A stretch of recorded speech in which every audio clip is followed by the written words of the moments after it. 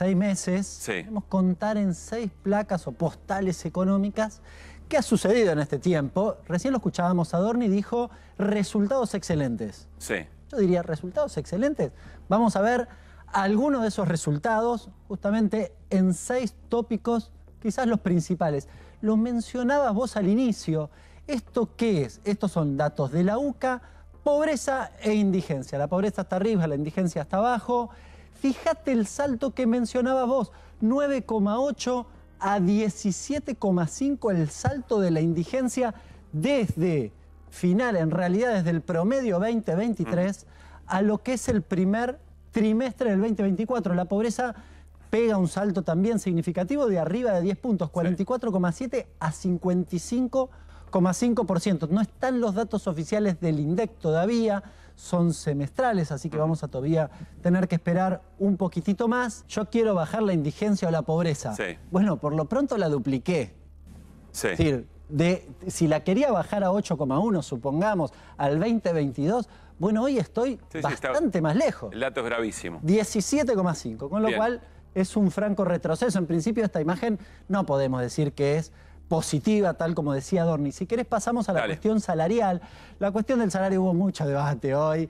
Este, fue un día con mucha atención respecto de la cuestión salarial por un dato que acá lo traje, la verdad, lo había hecho antes y lo dejé, que es el RIPTE. El RIPTE tiene, ¿te acuerdas que nosotros discutimos la semana, eh, discutimos el mes bastante. pasado? Sí. Nos anticipamos al debate del día de hoy y nosotros decíamos, ojo, porque ya en marzo, cuando subía un poquito, no se coma la curva, esperen un cachito, porque lo que pasaba es que está topeado por básicamente los aportes. Después lo vamos a explicar mejor. Y después lo explicamos mejor, pero muestra esa curvita. Lo cierto es, vos lo decías, que tenés una caída del eh, poder adquisitivo de arriba del 13%. Es decir, aumentó la pobreza, te bajó el poder adquisitivo. Se mueven en general con esa Parecido, lógica. claro.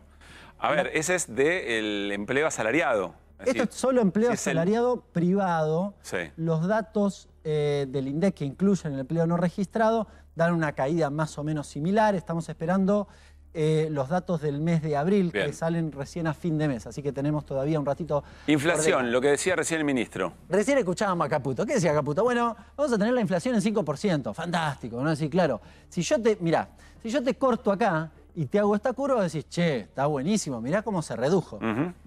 Bueno, yo dije, vamos a ver un poquitito para Vos decís, perdóname, si lo único que analizás es esto, es a partir de acá. Claro, del bastón alto, que es si querés, el 25,5, que el gobierno le, le dice, esto es del gobierno anterior. Dice, Sí. Bueno, es de diciembre, un poco discutible, pero supongamos que le damos la derecha y hacemos esta curva. Decís, uy, Sí. qué bien. Bueno, acá yo proyecté todo el año según el relevamiento de expectativas de mercado. Si vos te fijás, ¿qué está diciendo Que son las mercado? consultoras y organismos financieros que dicen cómo va a estar la cosa. Claro, dice, se planchó la reducción, se mantiene en 5. Cambio de tendencia. A fin de año estás en 5. Yo le puse la línea punteada para ver qué pasaba. Antes, acá tenés en el 2023 la sequía, Sí. y si vos te fijas en el 22, y si querés te traía el 21 y era más o menos lo mismo, un poquito más abajo, estás en los niveles similares. Dicho de manera sencilla, hiciste todo esto Sí.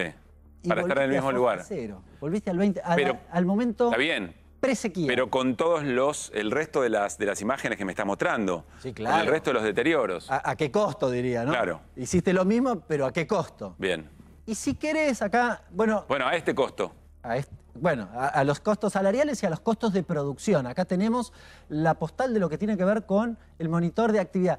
También hubo mucho debate porque Milley posteó una especie de semáforo parecido Sí. a este, diciendo, nos da positivo, nos da positivo. La verdad, cuando mirabas, ni siquiera con lupa, mirabas un poquitito, la verdad, Sí. llamaba, la eh, llamaba mucho la atención. Por ejemplo, decían, comercio exterior, todo le daba negativo. Solo uno verde. ¿Sabes cuál era el verde? ¿Cuál? El incremento de las importaciones de bienes de consumo final. Sí, era el único que quería que me diera rojo. Era el único que... ¿Qué es eso? Es lo que ves en la góndola que es importado.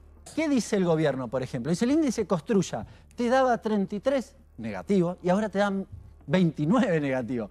Mejoraste. A ver si entiendo. El gobierno acá pondría en verde porque Sí. venís de 33 y fuiste a 29. Sí, de ¿Y por qué no tiene razón? Porque de hecho, evidentemente, si tomás mayo hay, un, hay una mejora en la situación. No, sí, efectivamente tiene razón. Lo que vos estás viendo y confirma eso, Sí. no es una curva, un- una, eh, una B corta. Lo que estás viendo es que tuviste una caída y que más o menos te mantenés en esos niveles, que es lo que venimos planteando hace rato. O sea, el problema acá es, venís de esta, de esta caída, de este deterioro, y lo que ves es que se consolida ese deterioro. Claro. Se congela, parás de caer, pero allá abajo. Exacto. Ayer Giacomini, acá en el programa en GPS, decía, es como que vas perdiendo 7 a 0 y hiciste un gol. Bueno, Muy buena imagen. yo. Sí, vas perdiendo 7 a 0, Muy buena un imagen. gol, podés festejarlo. Y festejás el gol, muy es bien. raro. Básicamente me pareció muy ilustrativo. Sí. Y acá nos ponemos un poquitito más técnicos, pero ¿qué estamos viendo? Lo vamos a ver con cero en un ratito, pero el tipo de cambio real multilateral. Estamos viendo el nivel de apreciación, cómo está el dólar respecto de nuestros socios comerciales. Si vos te fijás, está en mínimos históricos. Esta serie es esta llega hasta línea? el 2003. ¿Qué es esta línea? Esta serie, eh, esa línea es básicamente este último punto que está ilustrado solo para ver qué puntos quedan por arriba y qué puntos quedan por debajo. La crisis del 2001 está por debajo, bien, o el 2015 y la crisis del 2001 allá, pero básicamente estás en un escenario de mucha apreciación. ¿Cuál es el correlato de esto? Algo que se viene discutiendo que vamos a charlar en un ratito, que es básicamente, ¿se sostiene el crawling peg del 2%? ¿Podés Sí, el, aumento del tipo de cambio del 2% por mes. Hoy volvió a vender dólares. Sí. eh, el Ahora lo vamos a analizar con Fer. Central. Con lo cual eh, hay un, un gran este, semáforo naranja, diría a esta altura del partido, que preocupa con esa cuestión. Bien. Y finalmente lo que tiene que ver con... Estamos repasando eh, seis placas, seis escenas de los seis meses del gobierno de Javier Milei, tratando de darle una explicación. Eh, no solamente el dato, el dato duro, tratando de explicar por qué son datos negativos y por qué eventualmente responde o no lo que el gobierno dice. Es decir, o problemas que venían heredados de la gestión anterior, o eventualmente no se podía hacer otra cosa. En ese sentido, lo de inflación es muy figurativo. Básicamente, ¿qué nos cuentan? Y acá la otra postal que vende como gran éxito el gobierno, que es el resultado financiero, que básicamente da superávit. Entonces dice, bueno, fantástico.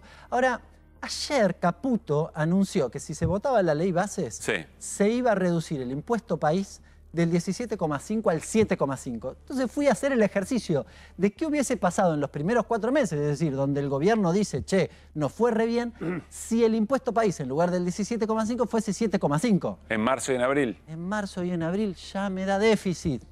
Bien, con lo cual diría que acá hay una especie de pies de barro. Porque además hay estacionalidad, hay un montón de discusiones, hay cosas no pagadas, la, la boleta de la luz no la pagaste, la vas a pagar en junio. Bueno, hay una serie de cuestiones. El gobierno tiene la intención de compensar parte de esto. ¿Por qué dice de la ley bases? Porque allí tiene básicamente la moratoria del blanqueo. Sí. Lo que pasa es que eso es por única vez.